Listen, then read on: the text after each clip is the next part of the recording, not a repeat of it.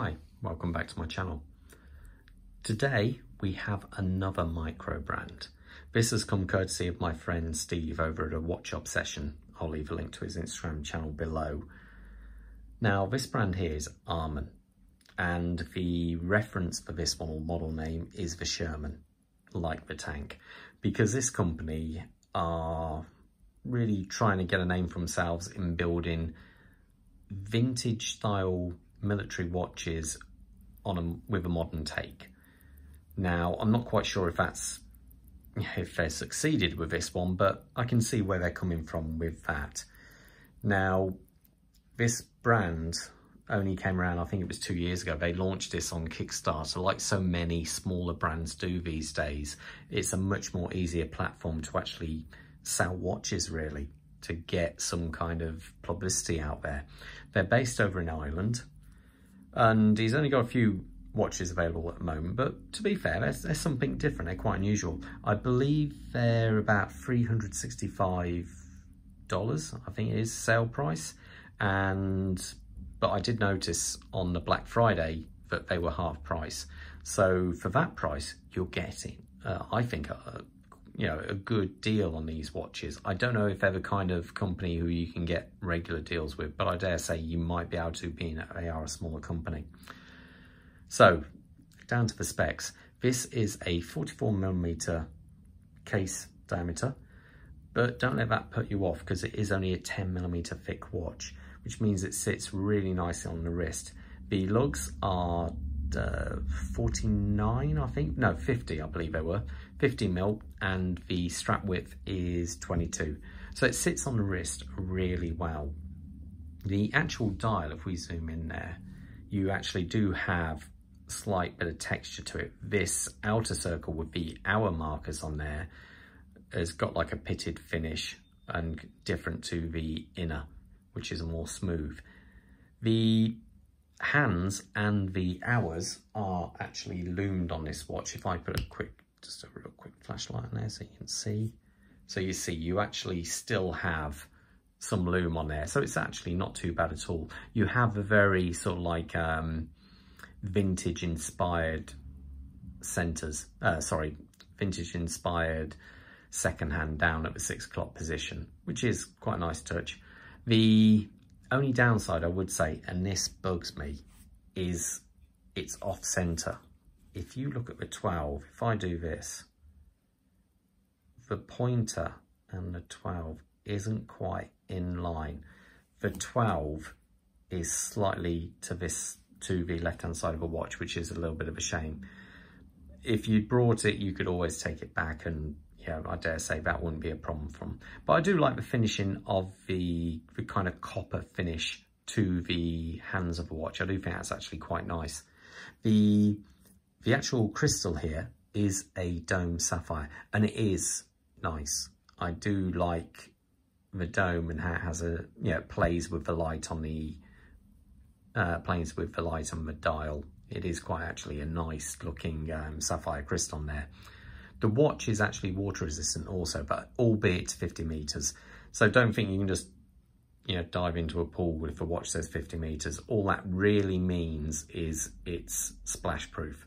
So being out in the rain, possibly washing your hands, washing the car, not the kind of watch you'd actually want to take yeah, into the a pool with, albeit it's got this strap anyway, you couldn't really do it on that.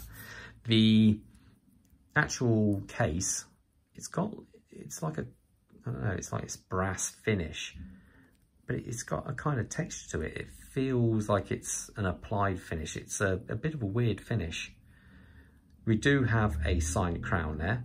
It isn't screwed down because this watch is a manual winder, which I like. The company says they only do manual winders, I believe. They, they don't do any quartz watches at all, and I do like that.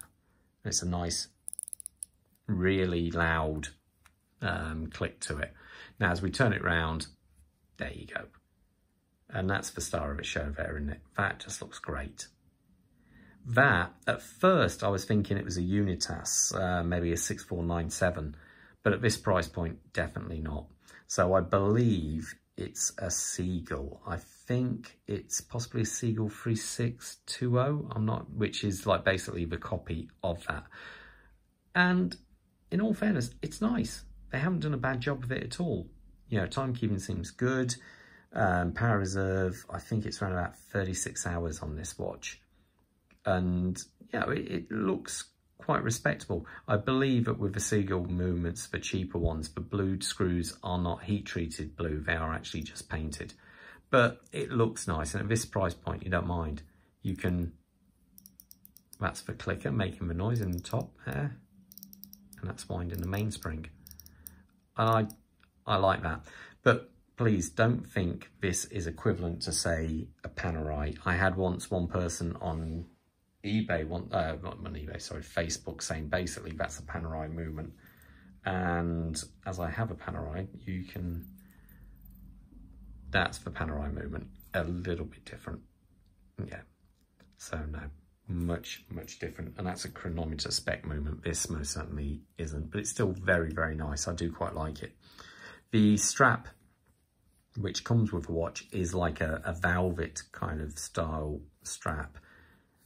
You do have a, let me zoom out there, you have a matching um, buckle on the end there. Overall, it's, it's, I think for the price point, it's interesting. Not necessarily what I'd go for, but it is actually interesting. Let me put it on the wrist and you can see. Oh, sorry, I'm wearing a Sinn uh, UX GSG9 on a funky strap. I'll just put some off camera. It's a little bit easier to put it on that way. So I say, because of its slim size, it sits on the wrist really well because you can see how slim it is. So no problems at all fitting this underneath a, uh, what do you call it, um, shirt or blouse or whatever. So it really, it's it's not bad. I think for the price, you, you get a decent amount of watch. The, I should mention actually my wrist size is a fraction over seven inches. So there you go. I quite like a manual wind watch. I feel that you get more attachment to a manual wind watch because you have to wind it. If anyone wonders how do you know when to stop, you can feel it. You'll feel resistance and you know not to you know, go past that. But there you go, something a little bit different. They do, obviously, other models, you don't have to have this finish, so you can you can choose from a fair few different colours, whatever you like. And I think if you can get them for that 185 or under 200, I think it makes for a, a nice watch, something a little bit different. And let's face it, that looks great. I don't care if it's a Seagull, Unitas, whatever, that still looks fantastic. So anyway, hope you enjoyed the video. Say if you liked it, please feel free to like, like and subscribe, to keep up to date with latest videos. I'll try and keep them coming every week. Um, any comments, I'll always try and get back to you. So all the best and I'll see you in the next video. Stay safe. Bye.